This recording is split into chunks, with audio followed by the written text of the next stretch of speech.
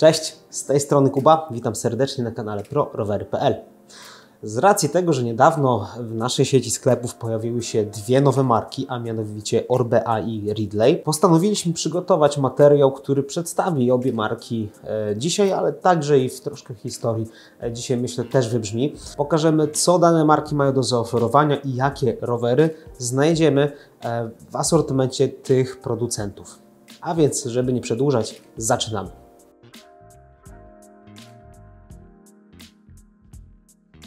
Najpierw historia, skąd się wzięły dane marki, o których e, dzisiaj będziemy mówić. Zaczniemy sobie najpierw od Orbei.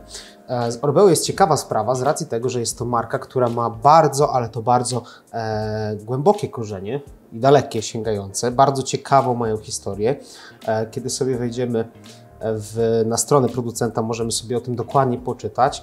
Marka została założona E, o tej nazwie Orbea w 1840 roku, czyli to jest ponad 170 lat istnienia firmy. Została założona w Hiszpanii, jest to marka hiszpańska e, i ogólnie rzecz biorąc na początku ciekawostka, z racji tego, że została założona w mieście Eibar w Hiszpanii, e, było to miasto, które słynęło w tamtych czasach z produkcji broni i tym samym także zajmowała się do roku 1929 tym właśnie zajmowała się Orbea. Tutaj mamy na przykład e, przykładowe e, modele pistoletów, rewolwerów właśnie tej firmy.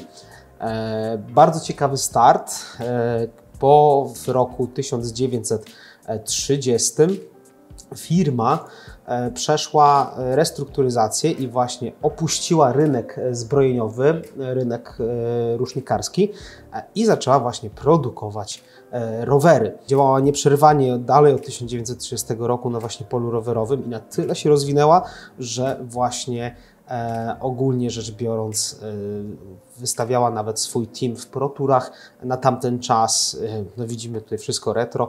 E, w 1946 po e, wojnie w Hiszpanii nadal Orbea produkowała 50 tysięcy rowerów rocznie. Między 1983 a 1989, czyli do upadku muru berlińskiego, Orbea startowała w największych zawodach na świecie, ogólnie rzecz biorąc. Wygrane pojawiały się zarówno na Vuelcie, jak i w Tour de France, dwóch najbardziej prestiżowych tego typu wyścigach.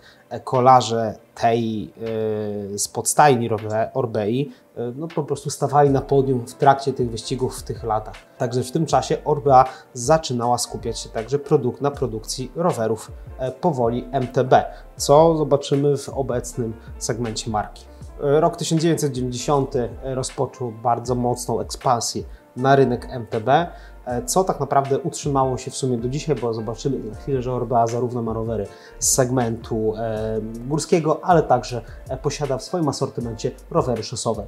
To, co dzisiaj, niedawno, w 2015 roku, Orbea obchodziła swoją 175. rocznicę. E, no, marka z bardzo konkretną historią. Rowery zaraz obejrzymy wszystkie z oferty tego producenta, przejrzymy, co tutaj dostaniemy. Przejdźmy teraz do Ridleya. E, z kolei Ridley tutaj aż takiej konkretnej, długiej historii nie ma, więc tutaj troszkę krócej oczywiście. Marka została założona w 1997 roku w Belgii. W pierwszej kolejności i to, ten trend jest do dzisiaj, e, postawiła sobie na budowę bardzo zaawansowanych technologicznie, jak na tamten czas, e, rowerów szosowych i rowerów później, jak zaczął się boom, rowerów także gravelowych. E, to jest taki znak rozpoznawczy Ridleya właśnie, że raczej e, tak jak Orbea produkuje bardzo szeroką gamę rowerów, tak tutaj Ridley e, bardzo mocno skupił się raczej właśnie na rowerach z barankiem z przodu. Z ciekawostek na rowerach marki Ridley porusza się e, team Sol, e, Lotto Soldal, e, gdzie w teamie znajdziemy paru polskich przedstawicieli, między innymi Kamila Małeckiego i Tomasza Marczyńskiego. Dwóch Polaków ściga się w barwach Lotto Soldal, właśnie jeżdżą w proturach na rowerach marki Ridley. A więc mamy dwie marki, e, jedna z bardzo, ale to bardzo bogatą historią, drugą w miarę świeżą marką, ale już właśnie reprezentującą się między innymi także no, w wyścigach kolarskich, w proturach na świecie. E, zobaczmy, co dane marki, jakie rowery mają do zaoferowania.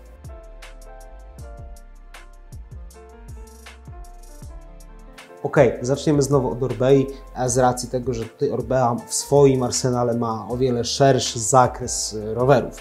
W obu tych markach nie znajdziemy rowerów raczej właśnie miejskich, e, trekkingowych, crossowych. Obie marki stawiają bardzo mocno na te skrajne grupy docelowe rowerów, czyli na rowery szosowe i na rowery, na rowery e, MTB oczywiście, e, gdzie tutaj no, Orbea będzie wiodła prym z racji swojej tradycji na tych dwóch polach, gdzie Ridley właśnie będzie raczej królował na szosie, tak jak wspomnieliśmy przy omawianiu ich historii. Jeżeli chodzi o rowery e, szosowe. Model Orca jest rowerem e, racingowym u tego producenta i tak jak Orbea Orca bez żadnego dopisku, to właśnie stricta, stricte wyścigówka. E, tak Orca Aero, no to jest odpowiednik Aero z podobnymi przekrojami i kątami, ogólnie geometrią, z tym, że no po prostu ma płaskie profile jeżeli chodzi o ramę, o widelec i tak dalej. Modele z serii Avant to modele typu Endurance, mają nas jak najdalej zawieść przy jak najmniejszym z naszej strony wysiłkiem. E, będą to czyniły za pomocą właśnie układu całego geometrii, bardzo także konkretnego widelca karbonowego, który będzie tłumił drgania i tak dalej, i tak dalej. I z rowerów szosowych, jak widzimy tutaj Orbea nie wydziela roweru i oddzielnego, oddzielnej kategorii z racji, że posiada tylko jeden model, e, to tutaj także pojawia się właśnie model, którym oznaczają, e, producent oznacza jako allrounder, no ale przyjmijmy tutaj właśnie, że jest to rower gravelowy, e, rower terra, co w ogóle z łacińskiego ciekawostka znaczy ziemia. Siłą rzeczy e, bardzo także fajny rower, ale już widzimy, że tutaj zobaczymy przy Ridleyu bardzo ciekawą tutaj kwestię, że Ridley bardzo mocno ma ten rozwinięty rynek rowerów gravelowych. No Orba tutaj posiada tak naprawdę tylko jeden model. Bardzo skonkretyzowane mają rowery E, szosowe i zwykle tak jak na taką markę e, z taką długą historią i z prestiżem przystało, no te wszystkie trzy segmenty są pokryte, czyli racing, aero e, i endurance. Tak też samo będzie pokrycie w rowerach górskich. E, będziemy tu mieli cały przekrój, od modelów e, MTB, takich entry level, przez cross country. Oczywiście będziemy mieli rower też trailowy i na endurówce kończąc. W całej rodzinie takich rowerów MTB brakuje tylko zjazdówki, e, ale zobaczymy, że endurówka tutaj w zupełności będzie nam wystarczała, jeżeli chodzi o to, co zaproponuje nam ten rower, jeżeli chodzi o skok amortyzatora, progresję, geometrię tak dalej. E, jeżeli chodzi o rowery właśnie e, Orbei, to jest MX i znajdziemy już w naszych sklepach, w całej naszej sieci. E, te rowery są rowerami właśnie takimi bardzo prostymi MTB i Intro. Z rowerów typu hardtail, ciekawostka jeszcze w tym segmencie górskim znajdziemy dwa modele. E, Almę już myślę, że znacie z kanału. E, była Alma H20, z tego co pamiętam, na naszym kanale. Jest to model oczywiście przeznaczony do cross country e, w pełni kompletna maszyna mm, na ramię hard, typu hardtail, czyli bez tylnego amortyzatora, gotowa do każdych zawodów w formule właśnie cross country, 100 mm skoku, e, aczkolwiek niekoniecznie, jak widzimy tutaj mamy także model z sztywnym widelcem, bardzo ciekawe rozwiązanie, szczególnie dla tych, którzy ścigają się e, na przykład na maratonach i nie są to maratony zbyt technicznie wymagające. E, tu będzie się liczyła każda, każdy wat, który generujemy w trakcie jazdy, w trakcie wyścigu. Będziemy mieli tutaj także rowery właśnie zarówno karbonowe, jak i rowery e, aluminiowe. Jeżeli chodzi o, cross, e, o to znajdziemy jeszcze model Laufey, E, jest to rower przeznaczony do trailu. Widzimy, że tutaj już geometria, e, tu główka jest o wiele wyższa, ciekawszy kąt tej główki, więcej skoków w amortyzatorze, tutaj dorobiony konkretnie tył, rura podsiodłowa, e, dodatkowym wspornikiem przyspawana do górnej rury roweru. Jest to model, który no, służy podejrzewam do zabawy. Mamy 140 mm skoku i mamy model typu hardtail, czyli też idealny do nauki E, do techniki jazdy. E, mamy aż koła 2,60, czyli prawie plusowe koła. Tutaj no tak naprawdę, jeżeli ktoś szuka takiego roweru, to wie, że szuka takiego roweru i koniec. I przechodzimy do naprawdę ciekawych, ciekawych rowerów, bo znajdziemy tutaj tak samo e, model cross country, czyli OIZ, Znajdziemy tutaj rower w pełni już zawieszony 100 mm skoku z przodu i z tyłu, z tego co pamiętam. Także maszyna do zdobywania pudeł na zawodach. Tutaj proszę bardzo, chyba chwali się, że 1740 gramów w MC z razem z amortyzatorem tutaj Foxa no, bardzo niska waga jak na w pełni zawieszoną ramę. Tak samo jak Laufey był odpowiednikiem hardtail e, trailówki, tak samo właśnie model Occam e, będzie tutaj odpowiednikiem w pełni zawieszonym trailówki, więc mamy bardzo podobną konstrukcję, ale już mamy, widzimy z tyłu zawieszenie, tutaj także znajdziemy 140 mm skoku e, z z przodu możemy ustawić, o ciekawe, tego nie widziałem, 150 mm, przód, tył także możemy ustawić pod tym kątem, to jest też ciekawe, jeżeli potrzebujemy więcej skoku, mamy to zapewnione. No i w ogóle mój ulubiony rower, aktualnie bardzo mocno na, na niego poluję, mam nadzieję, że kiedyś go dostanę tutaj na testy, a kto wie i ktoś może kiedyś będę tutaj właścicielem, rower Orbea Rallon. E, w pełni wykąpana endurówka, a nawet rower super enduro. E, mamy wszystko to, co potrzebne na pokładzie. E, dużo, dużo skoku, zarówno z przodu i z tyłu. Mamy sztycę regulowaną. Bardzo także fajny osprzęt pod tym kątem. I to jest ciekawe, że mamy 180 mm z przodu, 160 mm z tyłu w konfiguracjach, także mamy Foxa 30, 8 na pokładzie. Jest to model, który ma po prostu golenie 38 mm. Teoretycznie amortyzator miał być przeznaczony do rowerów i do e-bike'ów, ogólnie rzecz biorąc, ale znalazł tak, że no właśnie z racji sztywności e, i bardzo dużej wszechstronności właśnie w rowerach e, MTB do cięższych zastosowań. Najfajniejszą rzeczą moim zdaniem jest tutaj, że możemy 29 z przodu zamontować, 27 i pół e, z tyłu, stworzyć sobie fajnego muleta do zabawy na przykład w bike parkach. Bardzo fajny rower.